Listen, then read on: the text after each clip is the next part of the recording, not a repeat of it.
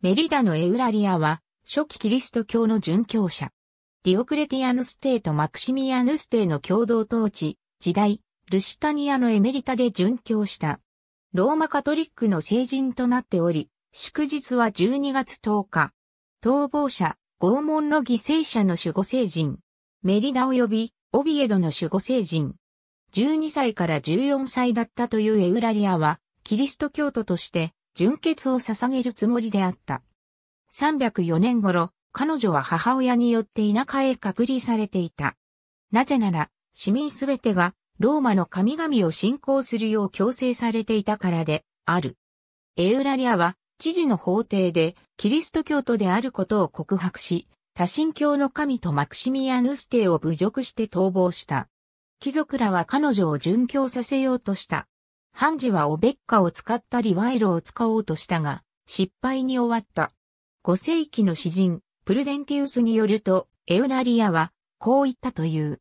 彼女は兵士たちによって服を引き剥がされ、ネジで固定され、松明で焼かれる拷問に合わされ、家計にされた。彼女は煙を吸って窒息した。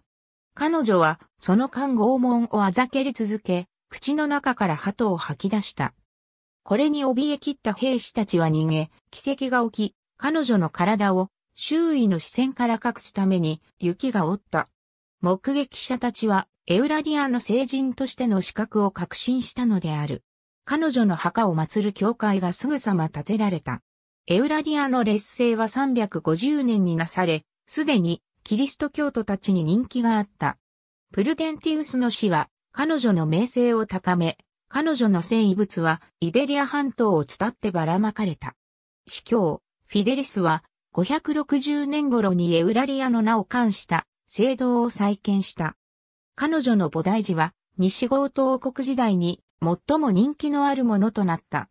780年頃、遺体がアストゥリアス王シロによってオビエドへ移送された。1075年にはアルフォンソ6世によって捧げられたアラビア風の銀製棺が用意された。1639年、彼女はオビエドの守護聖人となった。ありがとうございます。